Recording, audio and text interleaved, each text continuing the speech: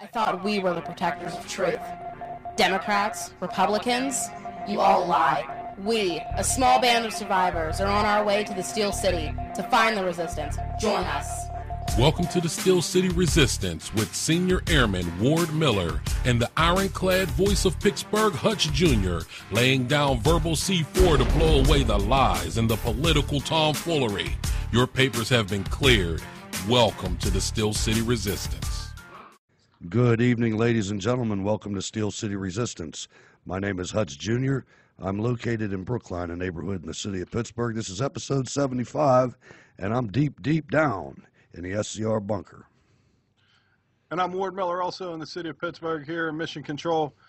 And once again, you know, I say this every week. We we got a, a, a crazy number of stories. There's a, a ton of stuff to talk about, you know, and what's that line from Smokey and the Bandit? We got a long way to go and a short time to get there. Yes, we do. And let's start off the evening with uh, wishing everybody in the SCR audience a happy Father's Day, those of you that are fathers. And uh, it, it couldn't be a more important time to do your best to be a good father because there's so many scumbags out there that aren't. I mean, Yeah. to the point where it's it's impacting the culture in a in a ter- horrific way, especially uh, in the inner cities, where these kids, these fatherless kids, run around in packs and just act ridiculous. And I, I directly lay the blame on that to fathers.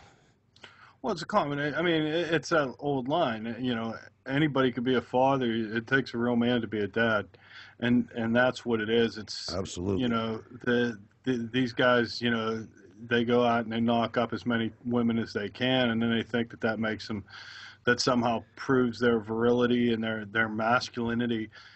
Anybody and, can and do the that. That's- government the government facilitated it i mean the government did it with the with the uh not the new deal what's uh, lbj's called the uh whatever the new society the great society you know it, it- yeah.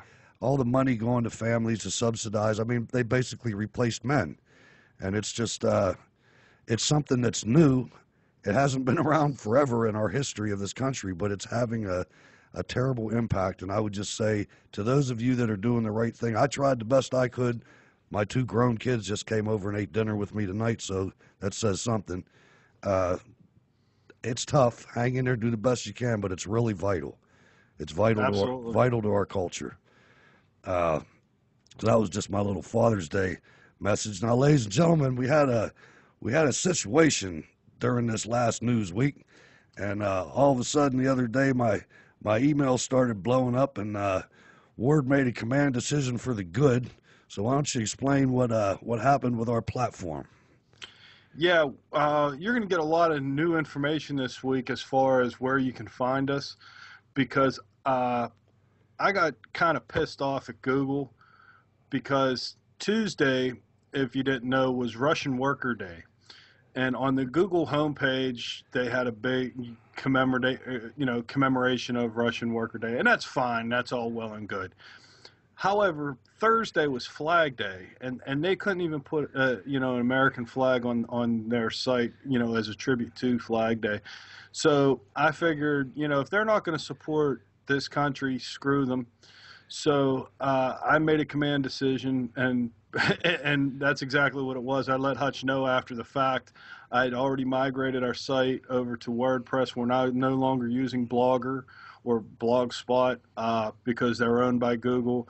All of our uh, show note documents that we were previously using uh, Google Docs for, we are no longer using Google Docs. Uh, we've changed the address for uh, to get in touch with us from a Google address to a live address. So it's going to be scrpgh at live.com. Well, I'm sure we're going to announce that a couple more times during the show.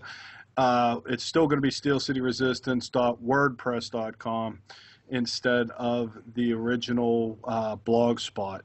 But uh, that that's the reason for it. You know, slowly they're pro- You know, I mean, and it's one of them things where they commemorate everything. You know, the the the first day that Pac-Man was released, they were, you know, And this has been coming for a while. We almost did it previously, but the uh, infraction wasn't as you know bad as this one. But this one just uh, Hey, you gotta, you gotta. If you're gonna put something up for the communists, you gotta put something up for Old Glory now. Yeah, it, and it just hit me when I was in a bad mood, and uh, I don't think I'm going to change my mind. In fact, uh, none of my uh, home computers use Google anymore for their search engines. I've changed everything. I'm using Bing, which, by the way, actually is a, a better, a, a, more user-friendly search engine. The uh, if you lo- if you do searches for images, the the uh, Bing uh, image search blows away the Google image search.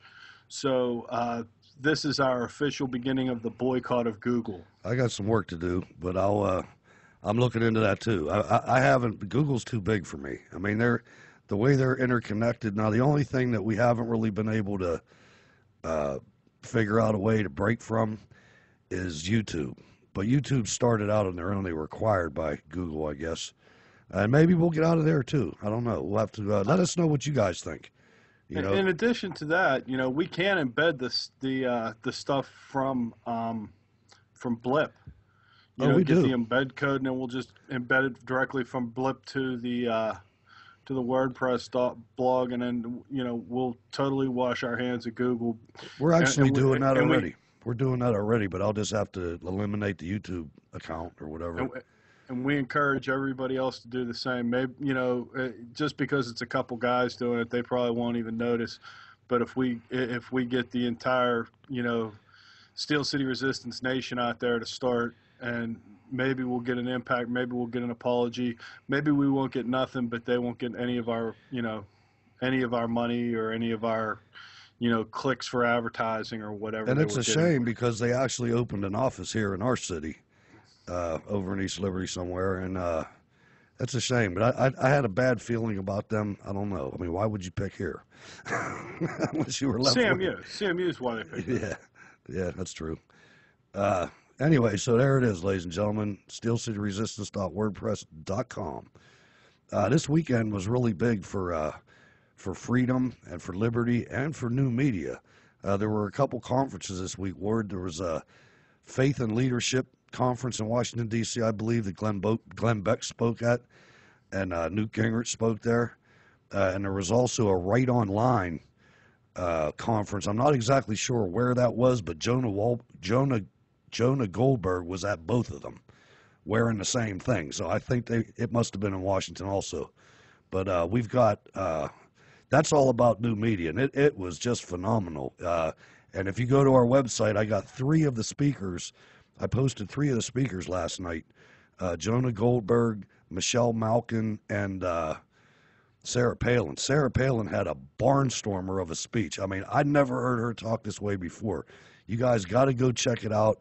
She pulls no punches. She calls people liars. She, it's just a phenomenal speech. I don't know if you got a chance to check it out, Ward, but it's uh, it, it's not your normal Sarah Palin speech. Yeah, well, Sarah Palin's never been known for pulling punches in the first place. This one but here when, is so but when you give her the, you know, when she gets the mic and she's ready to go, she's ready to go. so yeah, that that that's worth the uh, the couple minutes it's to Yeah. you know that it takes to watch the video. Definitely check it out. That one's the the Sarah Palin one's long. You got to give yourself about forty minutes for that one, but uh, the other ones are relatively short. Michelle Malkin uh, takes no prisoners either. Uh, Juan Williams made the mistake the other evening of telling her she was just a blogger and he was a real journalist, and that was like that set her off like the little chihuahua she is when she gets mad. I mean, yeah, I did see that. That, that was on Hannity, and I, th- I thought she was going to just pull out the the you know big spikes and crucify him on the spot. that was the wrong thing to say. She's been working in the business for twenty years. Yeah. you know. But uh, anyway, And she's highly recognized Yeah. in the conservative circles. You know, unlike Juan Williams, who became famous because he got fired from NPR because he actually had his own, uh, you know, in, in his defense, you know, he had his own thought. And heaven forbid if you have some sort of original thinking Yeah. on NPR, that as soon as he did that, he was no longer uh, employed there. Yeah, I'll tell you, and he's uh, I kind of feel for the guy when I watch him sit there and try to, you know, he's got a line, he's got a toe. He's not on Fox News for being a conservative. He's there for a reason. And yeah, well, he's there for Alan Colmes. and, and uh, to watch him try to defend Barack Obama in so many indefensible situations, it just hurts me because I know he's halfway intelligent, and I just can't tell if he drank the Kool Aid or if he's just faking it. Well, I mean, he, he's not as as super lefty as uh, Alan Colmes was, because Colmes was just you know so far he, he was he was make he was mixing the Kool Aid. Yeah, he And- was, and he he got he got uh, angry like the lefties do and everything. I mean, he's uh And the thing was, he'd get angry with Sean Hannity, and Hannity would put him in his place, and he couldn't, you know, and he couldn't say nothing. no, there's nothing he could do. Uh, so anyway, good good uh, good weekend for conferences. Uh, unfortunately, Europe is sinking pretty bad. Now there was a couple key elections uh, the last couple of days. The uh, Greeks uh, elected the conservative, which I, I don't understand this part, but they elected the conservative party, who is the pro bailout party. Now, I don't really understand that too much, but what you got to no, understand. well, what that is is I, I I did follow up on that a little bit. What that is is that yeah they want to bail out, but they want to bail out in order to stay on the euro. Okay. If if if they wouldn't accept the bailout, the the guy that was running against him, the anti-bailout guy, wanted them to go back to the drachmas, and that would just destabilize their economic And system. that, that might far- happen anyway. I mean, it, it may happen anyway, but at least this guy is willing to, you know, try and, you know, stay on the euros, uh, and, and that would help stabilize their economy a little bit. You know, they're they're they're deep in debt. They're they're in the kind of in the same boat we are. except fast forwarded. Yeah, it, it, it's because they've been at it longer. Yeah.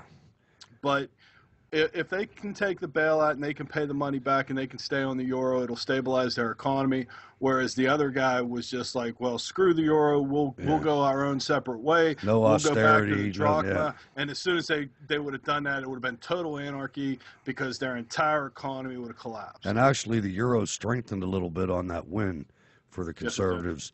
uh, now, on the other hand, France, who just elected a socialist president, socialists have complete control of the parliament after their elections.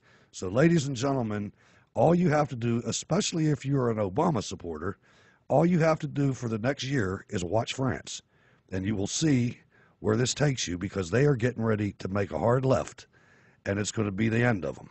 Well, the thing is with France too. I mean, they they are heavily union, well, sort of Oh, unionized. they are. Um, Remember all those truck driver strikes where they just stopped the country?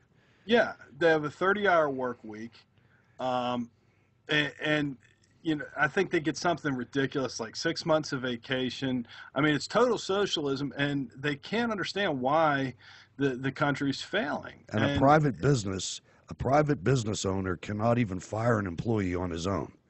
You have to take it to a board, a government board, to like arbitrate it. So what do you get? Nobody's hiring. Nobody will Yeah. hire anybody. Uh, yeah, it's it's a, it's a total shame, and it's very similar to the stuff that was happening here back in the uh, early '80s, if you remember, with all of the uh, the shootings and whatnot in the uh, the uh, organizations, you know, and, and UPS or not UPS, the Post office and yeah, the post office. You know, the that's where the term "going postal" came from, was because these guys are in there, they're busting their ass, they're doing all this work. Then you got the other guys that, you know, the I mean, they're all union workers, but the other union workers go, you know what? I don't have to try because they can't fire me. Yep. So, so But- you do twice the work. doesn't take them long to your figure ass, it out. Doesn't take them long to figure it out at all. And then you know you were getting guys that were snapping at and shooting people. Now, if you noticed, uh, we wished Europe well. I mean, that's where we came from, a lot of us. Uh, but I don't know how well it's going to go. I mean, I think it's a, I think it's telling, and it's almost. Uh, I don't want to sound ridiculous here, but it's almost like divine intervention is striking. That it's playing this out in front of us, showing us what our future is going to be if we make certain decisions. You know, it, it, it's uh, it's amazing that this is happening right at this time right before a major presidential election where there's a Marxist poised to have four years of power with no give a shit of whether he gets elected again. Well, I mean that that goes back to the exact to the same thing we've been saying since we started the show. Anyone who doesn't study history is doomed to repeat Yeah. it. The only uh, the only thing that's interesting is right now we're getting to see history occur. The the, the decisions that are being made in Europe and, and France and whatnot, and Greece Spain, and Spain, Portugal. all, all those countries that are making these decisions to go and lean more socialist, you're seeing what's going to happen. So this will this should be fresh in people's minds instead of, well, that was 200 years ago, and that really doesn't, you know, this. I mean, it, it- it's one of the things where. Okay, this is in the news today. This is happening today. This is why it's happening today. So maybe anybody that's paying even a little bit of attention because even the major news organizations the, the the the mainstream media the cbs's nbc's abc's have to carry what's going on in you know uh, greece and spain Yeah, when Barcelona's France. burning down. yeah so th- they're going to carry that they, they won't tell you that it's they won't equate it to that's the same thing that's going to happen here if we continue on the path It's something they, they on. won't they won't either. And and these politicians, it it, I, it kills me when I watch them. They're still trumpeting the same leftist things that got Europe where it's where it is today, and it's just beyond me that uh, people don't put. I think more people are putting it together. I do. I've, I've said this several times, and I'm going to say it again. I think this is going to be a landslide of historic proportions. I just really do. I have more faith in the American people than these silly polls that said Scott Walker was even with the other guy. I don't even know his name. you know, yeah, it didn't matter. Uh, and he beat him by seven points. yeah, you know. So He beat him worse in the recall election did. than he did initially. yeah, and they were calling that. I just I, don't buy any of it. I don't. When you see what's going on now, you see the James Carvilles and the Bill Clintons and the Trippis and the everybody else. They're all they're not enthusiastic at all. I mean, if there even if there is a positive comment, it doesn't sound like it comes from the heart this time. Well, uh, you know, and we talked about this the last show. Uh, I don't know if, uh, uh, you know, and it could be that Bill Clinton's trying to sabotage Obama. It could be the fact that he doesn't like Obama. It could be the fact that he's figuring, well, we get Obama out of office this time and Hillary makes another run. Uh, you know, because basically he came out and he, he just didn't toe the, you know, the company line. They said, okay, well, you know, he, he first thing he said was, well, at, at Bain Ca- Capital, Romney had a sterling record. After the Obama, you know, campaign is trying to paint him as, Spend a million You know- dollars on an ad campaign. yeah, they spent a million dollars on an ad campaign saying that he was terrible at Bain Capital. Here comes, you know, the the messiah of the Democratic Party, the first the first black president. The- yeah, comes out and says, hey, he, he, he was he had a sterling record at, at Bain Capital. I mean, Peggy So- Noonan, some of these some of these pundits and, and columnists are are getting them too. It's not just uh, not just Clinton. I've been you- I've been noticing around that they're peppered in there that uh, this isn't looking good for the fella. Well, no, not even that. Uh, Clinton, Bill Clinton also came out and said that the Bush tax cuts should be ex, uh, extended Yeah. again. hmm You know, after Obama, you know, the Obama campaign says no, we're not going to extend the, the can, you know, the Bush tax cuts and da da da da. Bill Clinton says you, you need to do that to, to help business. Yeah, I You, mean, know, you got to help business grow. And, and here, here's the other thing that, that really drives me nuts. And I saw this uh, on, uh, it, it was a poll, and they were talking about Reagan, and, and this idiot apparently who doesn't understand how things work came out and said that Ronald Reagan was the worst president we ever had. You know, when Reagan was in office, all this bad stuff happened, and it wasn't until Jimmy Carter that all this, you know, every, you know, we began to prosper, and you know, everybody had jobs, and, and it was all because of Reagan. And he's absolutely right.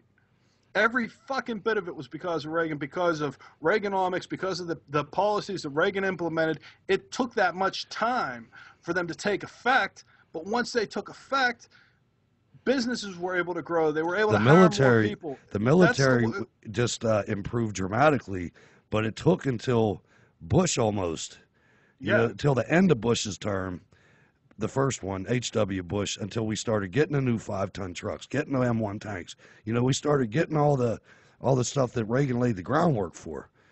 Uh, it, it, it wasn't the fact that, that it, it, we did it because Reagan did what he yeah. did. It wasn't because Bill Clinton was some super genius, you know. And Bill Clinton left us with you know, a, a, a, a, huge amount of cash reserves and et cetera, et cetera. Those cash reserves wouldn't have been there if it wasn't for Reagan. Well, well, the reason the reason that Clinton was a success, and he was a very successful president, but the reason for that is is because he moved staunchly to the right with Newt Gingrich's Congress and uh, enacted a ton of conservative legislation. I mean, he got his little backroom deals for it, but they create oh, yeah. they did the welfare reform, you know, the balanced budget, everything. And uh, you know that was that was as much Newt Gingrich as it was Bill Clinton. I mean, it was both of them, uh, but it was uh, a joint effort. Ladies and gentlemen, your weekly jihad report, June second to June eighth. 37 jihad attacks, six Allah Akbars, 347 dead bodies, 535 critically injured. Your weekly jihad report that I missed last week. All from the religion of peace. Definitely, one body at a time.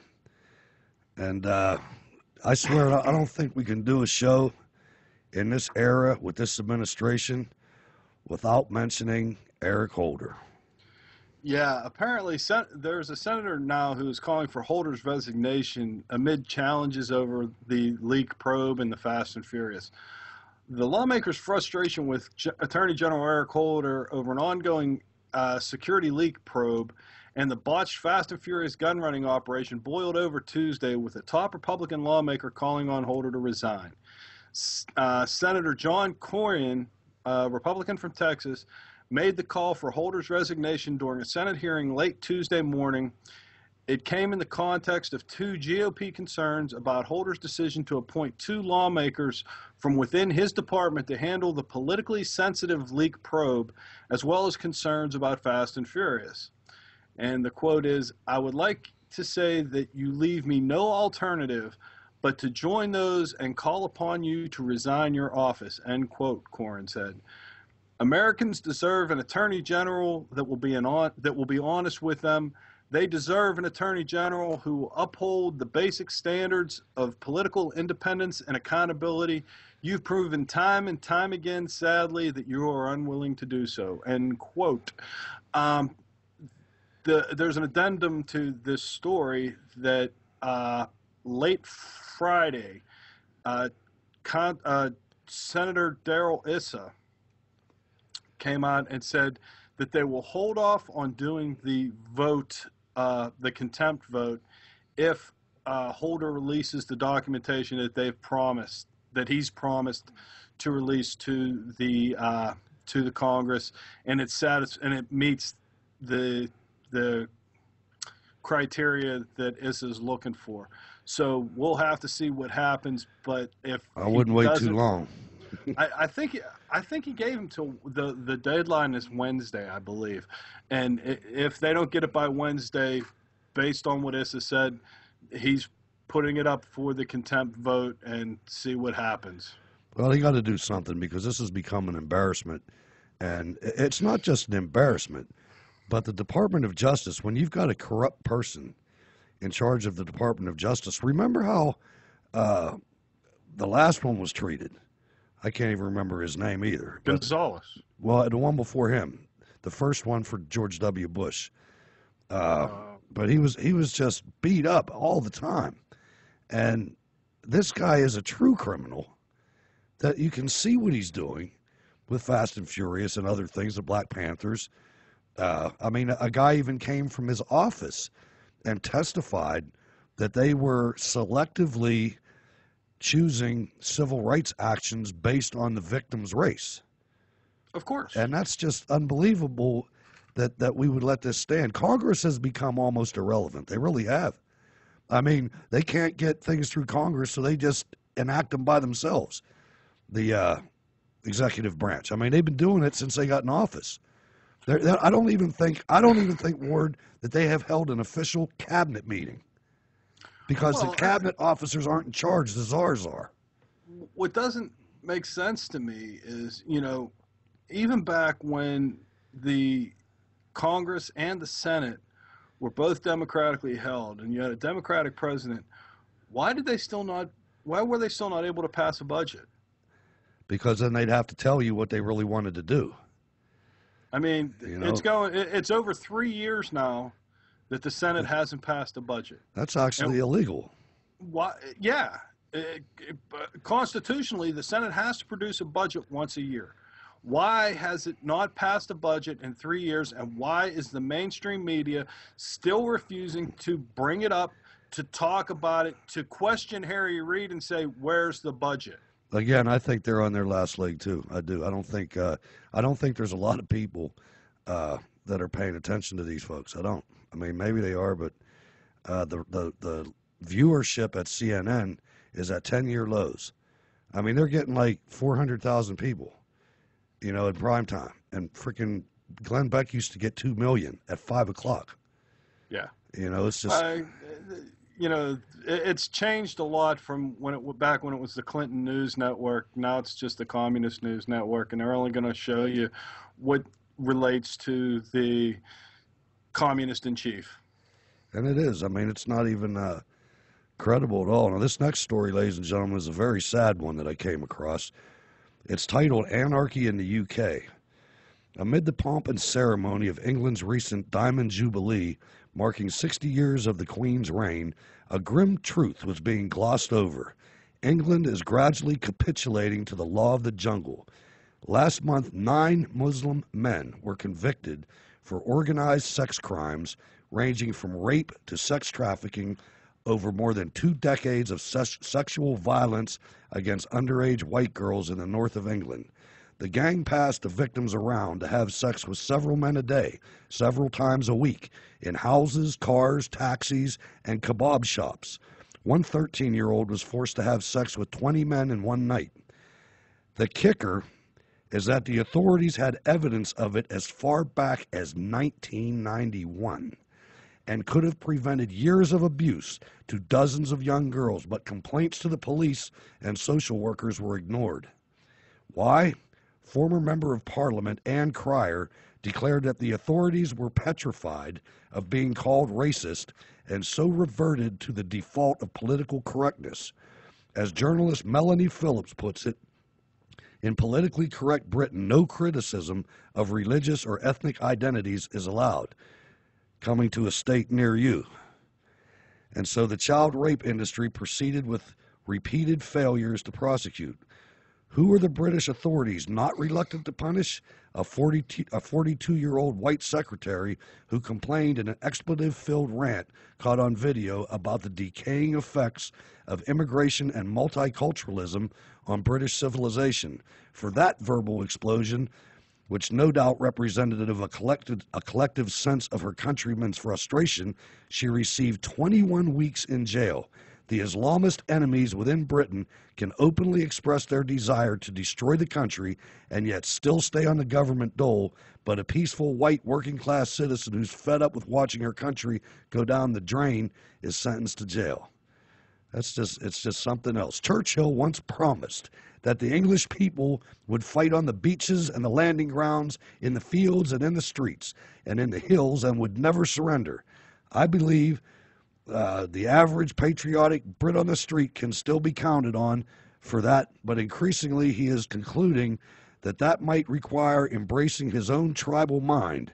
As Harris said, if there is a tribe that hates me because they see me as a member of an enemy tribe, then my only hope of security lies in standing firmly with my own tribe. England is not alone in this. The return to the ways of the jungle is evident throughout Europe, and as Thomas Sowell puts in his essay, learning from Britain's moral rut, America's own politically correct elites are pointing us in the same direction. Those elites are instilling in American youth the emasculating lie that defending yourself or others against bullying is no different from bullying itself. It is considered a case of two wrongs not making a right. A generation of Americans is being conditioned not to stand up for themselves or to defend the helpless, but to appeal to a mediating, preferably international, authority for peaceful resolution. Our tribal enemies operate no under no such self-restraint and don't respect authority or peaceful resolution.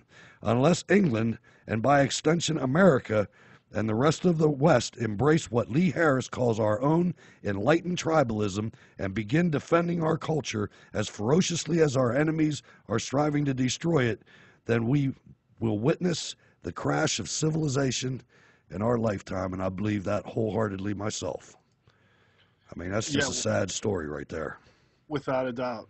Uh, the, and there's nothing really that even I could add to it, uh, except that, you know, and we say it on the show all the time. You know, it, it, there's a line between being politically correct and, and being civil.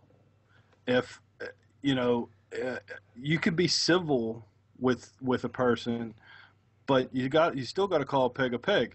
If you got a guy, you know, that's uh, whether he's Muslim, whether he's Jewish, whether he's black, white, green, orange, purple, whatever color he is, whatever his uh, religion is, if he's raping little girls, you you take him out. And if you know about it and that your mindset stops you from stopping it, there's the definition, there, there's the uh, explanation of the evilness of political correctness. I mean, it's just, uh, that, that, that What- story got me there. The way I look at it, you're complicit. Yeah, absolutely. It's the same as you doing it. If you don't, you know, if you if you take it to the police and the police refuse to do something about it, then you damn well better do something about it. But when the police won't do something, that's just, uh, whew. I'll tell you, we got another, uh, another little barometric picture of what uh, the Obama administration has done to our families. Yeah, the net worth of families has dropped 40%. American families have a net worth approximately the same today as they did in 1992. That's a conclusion reached, uh, reached by the Federal Reserve on the effect of the recession on wealth. The grim stats remind us how far we have to go to get back to where we were.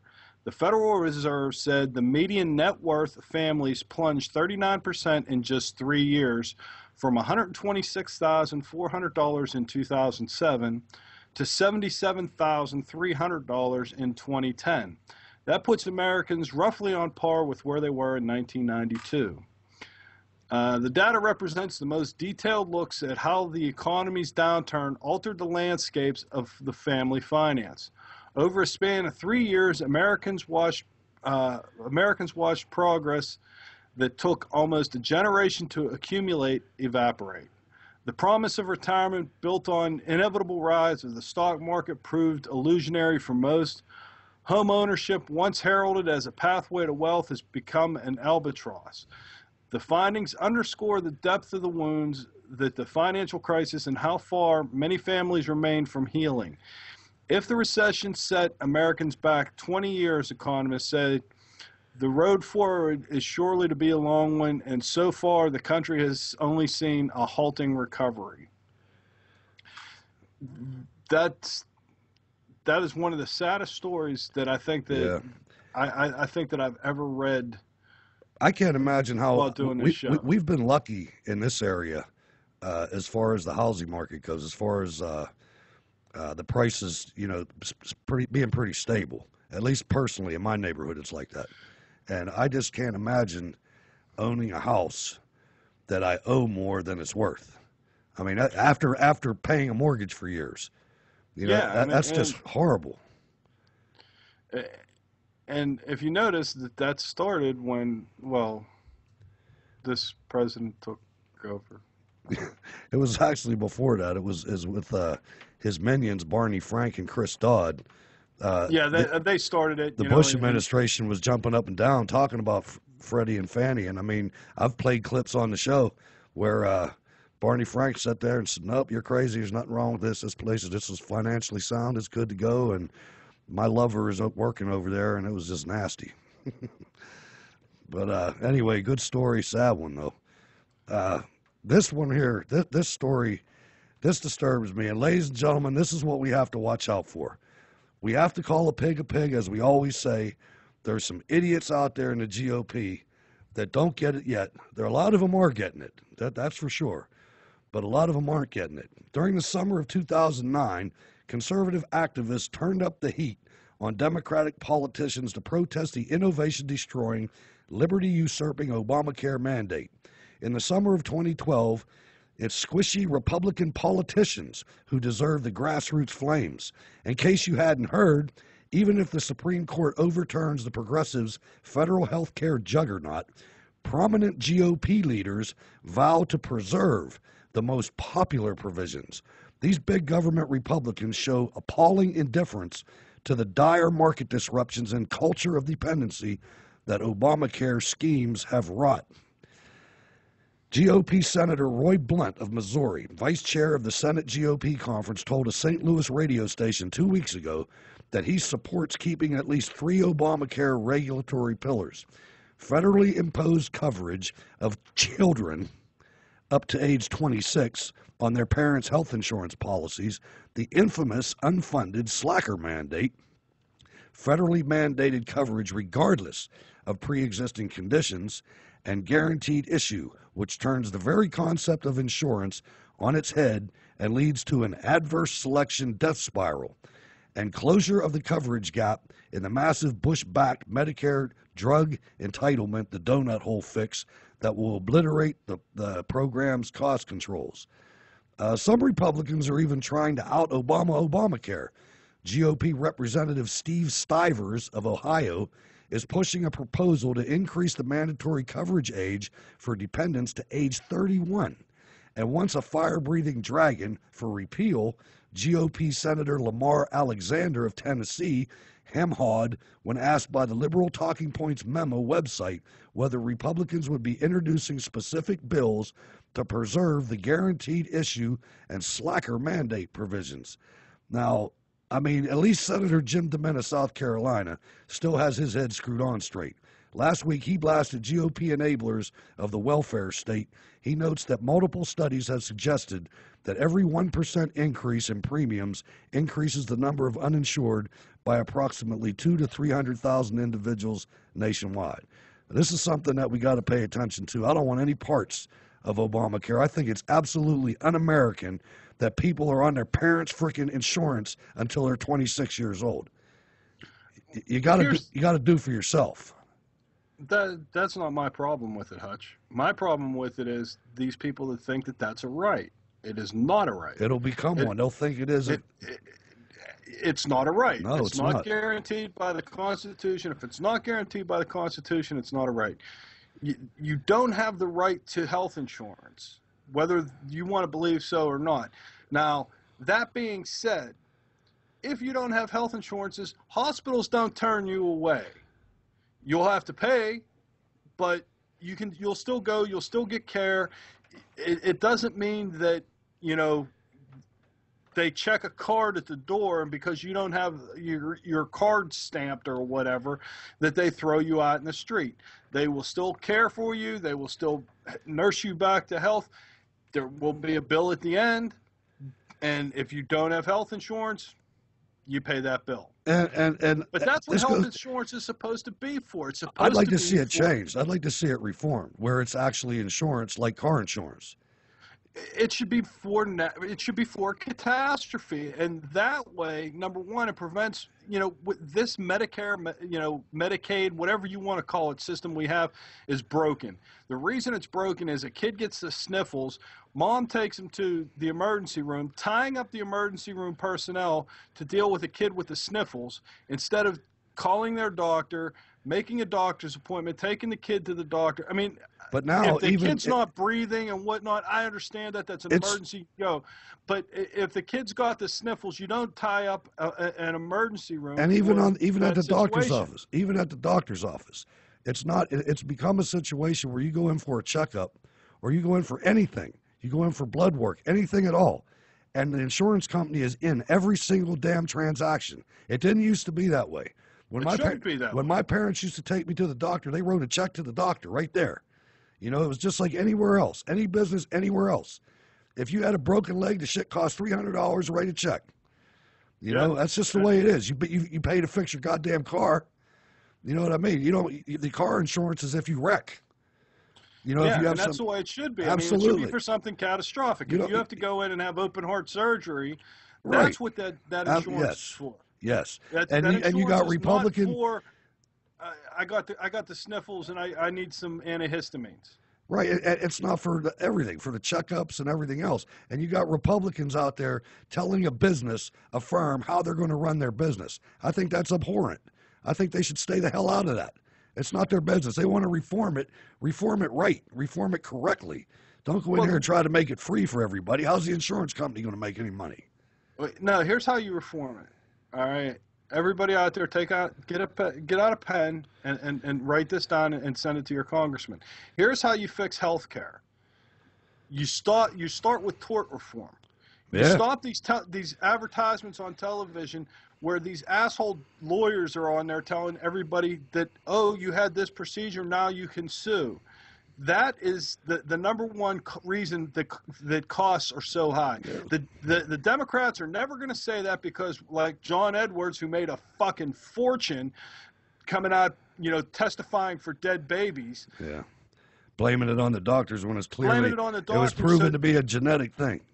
and and, and the, the point is these doctors have to pay a, an insane amount of of malpractice insurance that money's got to come from somewhere and they have to defend the lawsuits even when they win them. Even when they win, that that's why Sarah Palin stepped down from Alaska. She couldn't afford to defend all those lawsuits, so she just bailed. I don't blame her. I would have too. Another thing, another way to to fix health insurance uh, is to just let eight hundred thousand more immigrants in. yeah the obama administration wants will stop deporting and begin granting work permits to younger illegal immigrants uh, who became who came to the United States as children and have since led law-abiding lives. The policy change described to the Associated Press by two senior administration officials will affect as many as 800,000 immigrants who have lived in fear of deportation. Also bypasses Congress and partially achieves the goals of the so-called DREAM Act, a long sought after but never enacted plan to establish a path towards citizenship for young people who came to the United States illegally but who have attended college and served in the military. Homeland Security Secretary Janet Napolitano, who announced the new policy on Friday, one week before President Barack Obama plans to address the National Association of Latino elected and appointed officials. Wow, that's a that's a mouthful. Their annual conference in Orlando, Florida, Republican presidential challenger Mitt Romney is scheduled to speak to the group on Thursday. Under the administration plan, illegal immigrants will be immune from deportation if they were brought to the United States before they turn 16 and are younger than 30, who have been in the country for at least five continuous years, have no criminal history, graduated from a U.S. high school, or earned a GED, or served in the military. They can also apply for a work permit that will be good for two years with no limits on how many times it can be renewed. The officials who described the plan spoke on the condition of anonymity to discuss it in advance of the official announcement.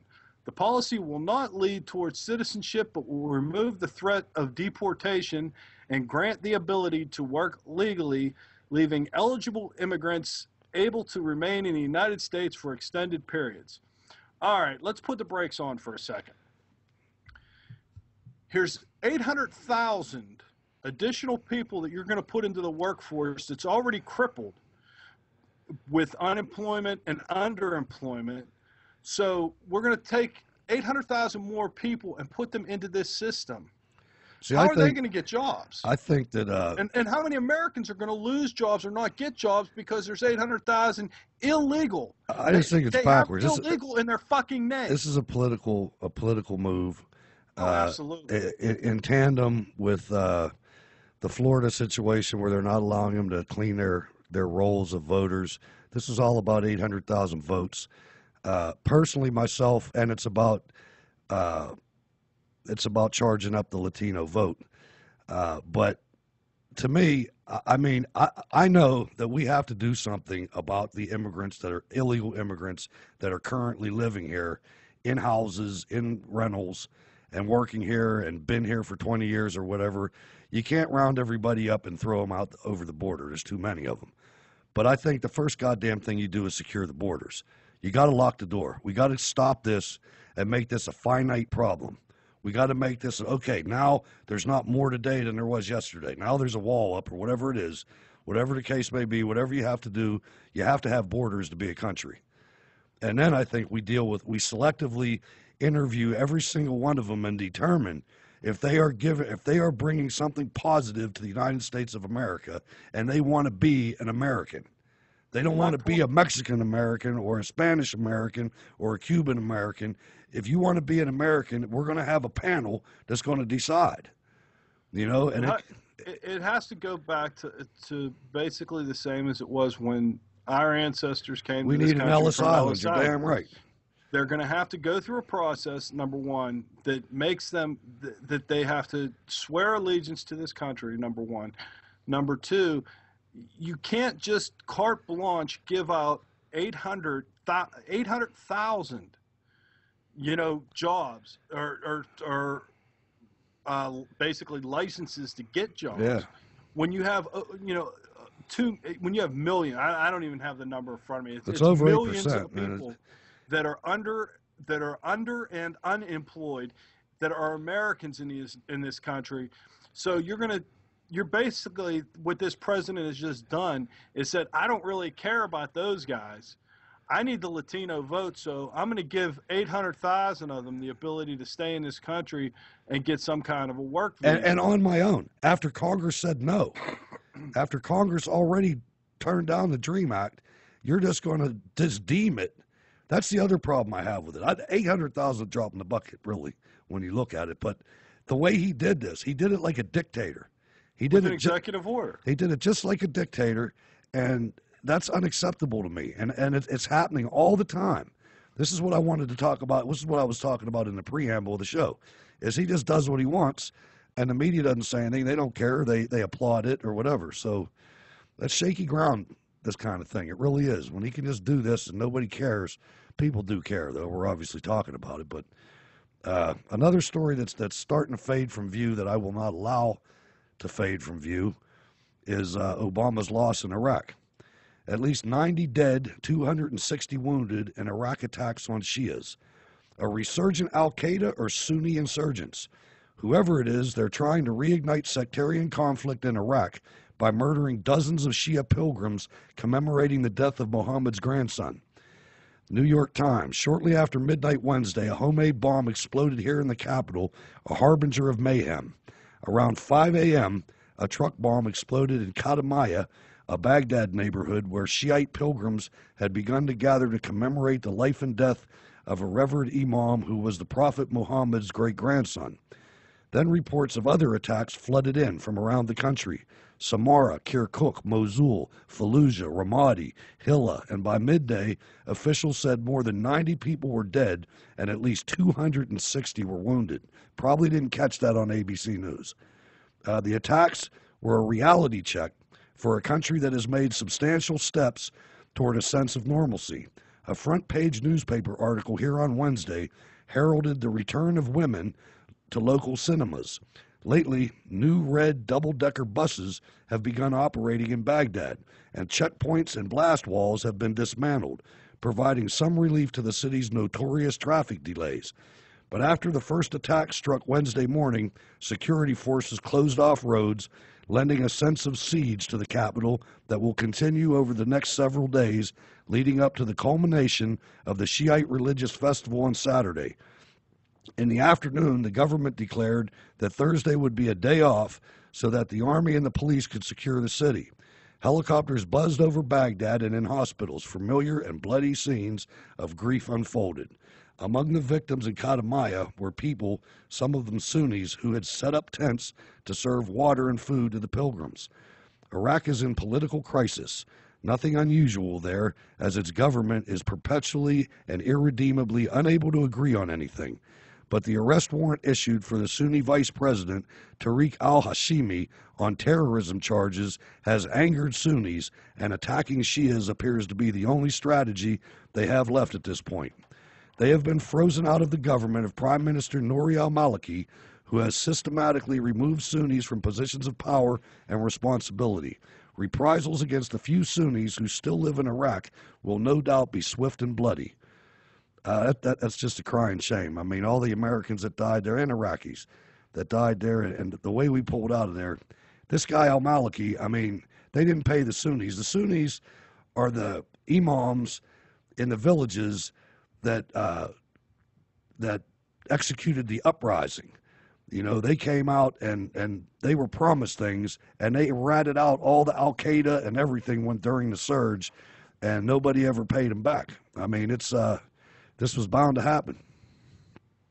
Yeah, it, it, that was one of the things that we talked about on the show, and you know the timetable that they used to, for the pullout of uh, Iraq we said earlier, and I can't remember in what show it was, that that was a, a bad idea. Um, I mean, I heard but, bad tales about you know when when we were. I wasn't there for this part, so I don't know firsthand. But like we we would like systematically we were pulling back and we were giving them the the facilities, the fobs that we occupied when we were there, and they were looting them. Man, by the next day it'd be looted. All the stuff would be gone, you know, and I don't know. they're they're not the same as we are. I'm just saying. You know, these people are. I mean, they're not dumb by any stretch of the imagination, but they're not us. They're not the same. You know, I heard stories in the Iraq-Iran war that they just fired the cannons. They just pointed them in a certain direction. They they weren't doing a whole lot of fire control. No. You know? no. They'd have a tank battle and no tanks to get hit. They, they, they, were just happy that the damn thing went off and didn't blow up in their face. It's a shame, though. I mean, so many people, so many good people. Well, earlier we were talking about uh, our uh, commander in chief, our communist in chief, whatever we want to call him. Uh, I've Bill Ayers, Bill Ayers, buddy. What's that? Bill Ayers, buddy. Bill Ayers, buddy. Yeah. Yeah. I was able to find a comprehensive list of Obama's worst executive orders. All right. How about this? There, be good. Yeah, there have been over 900 executive orders put forth from Obama, and he's not even through his half ter- through half of his term yet. He's uh, he is creating a martial law Disneyland of control covering everything imaginable. Some of the executive orders he signed recently have been exposed thanks to Friends of Conservative Action Alerts. They have compiled a list of the emergency powers martial law, martial law executive orders.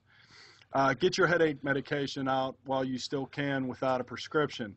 Executive Order uh, 10, uh, let's see, 10999 allows the government to take control over all mo- uh, over all modes of transportation and control of highways and seaports. Yay.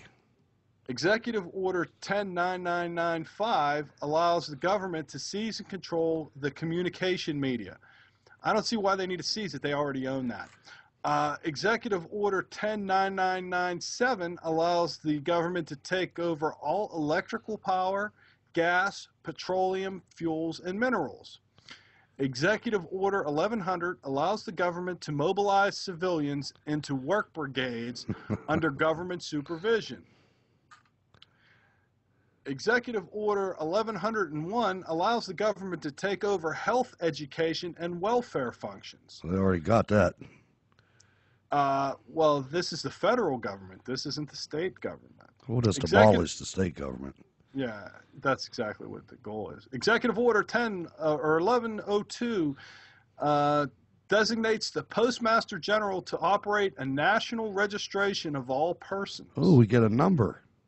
We're going to get Ex- our own number.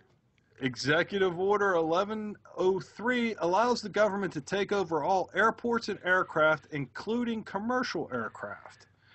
Executive Order 1104 allows the Housing and Finance Authority to relocate and establish new locations for populations. Everybody to Detroit. Move to Detroit.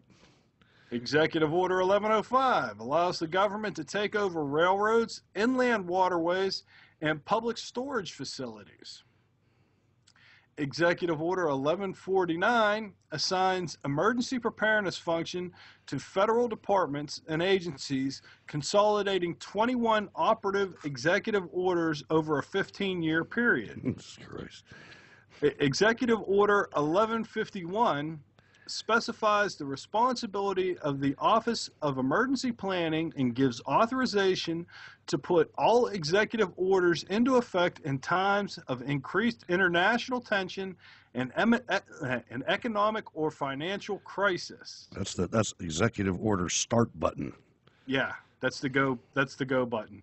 Executive Order 11310 grants authority to the Department of Justice, Stedman, to enforce the plan set out in the executive orders to institute industrial support to establish judicial and legislative legislative liaison to control all aliens to operate penal and correctional institutions and to advise and assist the president. FEMA camps. Executive Order 11921 allows the Federal Emergency Preparedness Agency to develop plans to establish control over mechanism and production and, dis- and distribution of energy sources, wages, salaries, credit, and the flow of money in the U.S. Financial institutions in any, in any undefined national emergency. It also provides that when the president declares a state of emergency, Congress cannot review the action for six months. These people are freaking insidious. It's more clear that Obama is planning the total takeover of America via martial law, food, energy, transportation, work, banking, and health, and he has it all covered. While Obama is uh, busy pulling executive orders out of the sky to control everything inside of our country, he has been issuing executive orders to force us to submit to international regulations instead of our Constitution. Isn't that the truth? So, folks, you really, I mean, these are all real world executive orders. You can you can look them up. They, Who they thinks that way? them. I mean, who thinks that way? These people are aliens. Yeah, I mean, this is not an American mind. Well, And it's not just him. 90% of uh, of the things that he's going to take control of are either under the state's control. He's taking control away from the states, or he's taking control away from private business. Unbelievable. I mean, it's just uh, it's mind-boggling to think that, that that we have these people. And I mean, they've always been around, but uh, the media is just complicit. The media, the media needs to be prosecuted. They, I mean, it's Yeah. it's that bad. It really is. To allow this to happen, uh, ladies and gentlemen, I got to urge you. There's a couple things that you really are must watch. You have to watch. Uh, what's the name of it? Cultural Marxism. Uh, the Corrupting of America is an outstanding documentary that you absolutely will enlighten you to the things that are going on around you, uh, including the uh, what I talked about in the article in the UK about not defending yourself. Uh, that's just an excellent, excellent documentary. Watch it in in you know different segments or whatever. Uh, the other one is Sarah Palin. You got to watch Sarah Palin's speech. I mean, that's just. Uh, I always liked Sarah Palin, but I never really thought she was like. Uh, I thought she brought too much heat, you know, too many lightning bolts. But she was just brilliant in her plain spoken way uh, of just telling the truth, and it's just so refreshing to hear that. And that's one of the things that we talked about before, where Sarah Palin doesn't need to run for office. Mm-hmm. Sarah's a, a kingmaker, Oh, and and that's because she does have that ability to get people to listen to her. she's You on know, it too. She's on it on every single hot button that we deal with. She talks about. I mean, she talks about Breitbart. She talks about Bill Ayers. She ta- every everything that we cover that we think these establishment Republicans are have their heads stuck up their ass on. She covers. She's on it, man. She is she is on the cutting edge of the conservative movement of 2012. No question. And that's what we need. Absolutely, man. So go check that out. And I am going to defer to Ward to give the the addresses and whatnot out. Yeah, seeing as we got all new addresses, from now on you can send us an email at scrpgh for Steel City Resistance Pittsburgh at live.com. That's scrpgh at live.com. You can also hit us up on our website, steelcityresistance.wordpress.com. Uh, you can find us on uh, Facebook Facebook hasn't changed because they haven't pissed us off yet. No, and you know we did make an appeal for some more likes, and we got them. So thank you, ladies and gentlemen. Yeah, we do appreciate all you that. new- all you new members and new listeners, hey, welcome aboard. Uh, if you got something to say, if we're pissing you off, let us know. We're not going to change what we do, but we'll talk about it. Yeah, and tell your friends. You know, if if you tell one friend and they tell one friend, and and so on and so forth, we'll have a whole bunch of listeners, and then maybe we can really piss Google off, and that's really my end goal this week. I want to thank all the uh, people over at Freedom Connector that have joined Steel City Resistance's group and that watch the show from there. We appreciate it, uh, or listen to the show, I should say. However you get it, uh, give us a give us a send us an email so we know uh, if you have some preference. We can't cover all the stories. We have like a he's almost like an associate reporter, Eric. He, he uh, posts links over on the Facebook page all the time, so they're always there to, to check out. Oh, Twitter. We forgot Twitter. SCRPGH, follow us. Uh, we, we, we're starting to slowly build that database up. Uh, it's kind of tough, but we're getting there. Follow us, and we'll we'll figure that all out. I wish I this was my full time job, so Oh, me I mean, too. we could really have a, a good time That doing that. fun. But seeing as we're doing this on the side and whatnot, uh, yeah, you get we, we rely a lot on uh, on Eric and, and all you guys to help us out. Send us stories, things you think we need to talk about, things that we talked about that you agreed with, things that we talked about that, that you don't agree with that pissed you off.